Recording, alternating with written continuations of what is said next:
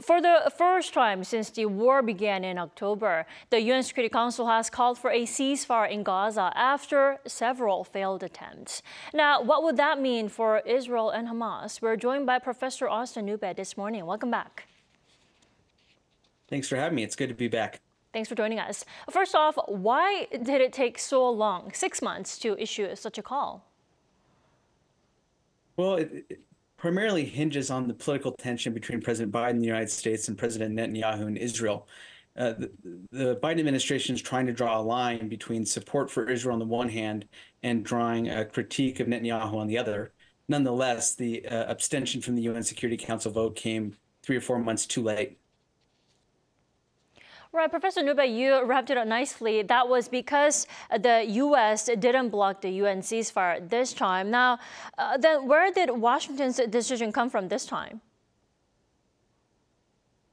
Well, I think it was primarily a political move. It doesn't. It, it signaled displeasure with Netanyahu's decision to um, ignore Washington's advice about the impeding offensive in Rafah. Mm -hmm. At the same time, Israel's defense minister is in Washington D.C uh, negotiating further arms transfer deals. And so it was mostly a political signal as opposed to a substantive policy change. Right, uh, Professor Knuppe, I, I, have to stress how the U.S. said the UN Security Council resolution is, quote, non-binding, which became quite controversial. What's the controversy here?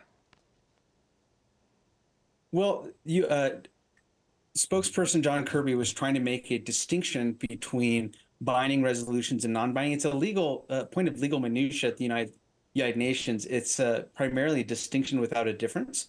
It's a way of the United States trying to, on the one hand, abstain from the ceasefire resolution, on the other, um, create, uh, uh, say that there's less distance between the United States and Tel Aviv than actually exists.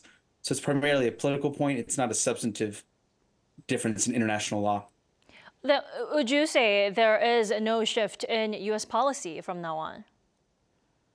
There's uh, increasing tension between the Biden administration and Netanyahu's coalition, but U.S. policy towards Israel has remained largely unchanged, mm. with the exception of some air delivery aid and the opening of a, of a, a relief port in, on the Gaza shore. U.S. is still approving arms transfers. Just the other day, the United States said that Israel is in compliance with a national security memorandum that said uh, arms uh, recipients must abide by international law and respect human rights. So on the one hand, we're uh, abstaining from votes in the United Nations. On the other, we're saying that Israel is in compliance with international humanitarian law. So right. U.S. policy has fundamentally remained unchanged. Right, but Israel was so unhappy with the U.S. decision that it canceled the delegation's White House visit, which also disappointed the Washington side. Now, uh, what right. is Washington expected to do now then?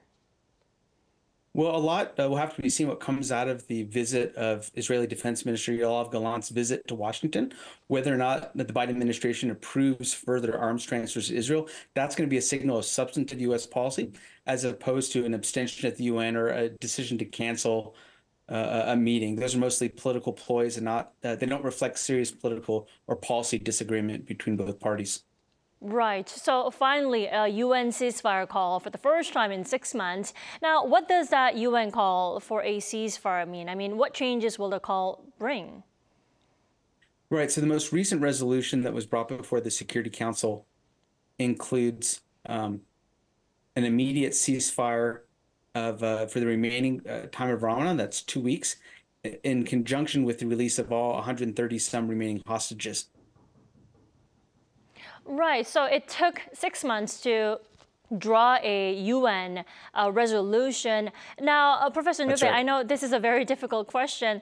Uh, it's been six months since the war broke out. Now, how do you expect the war uh, to unfold for the next six months? So what we've seen in parallel to the vote at the United Nations was a breakdown of further uh, hostage negotiations in Gaza in, in Qatar. Mm -hmm. So, uh, but just today, the um, Israeli delegation left Doha, saying there was no no use in further negotiations.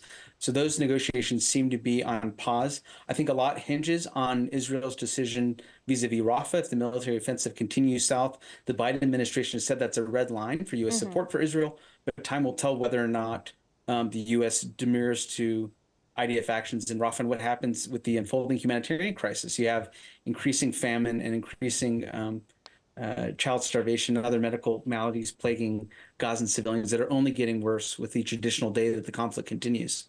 Definitely. All right, Professor Knuppe, thank you so much for your insight as always and your time this morning. We appreciate it.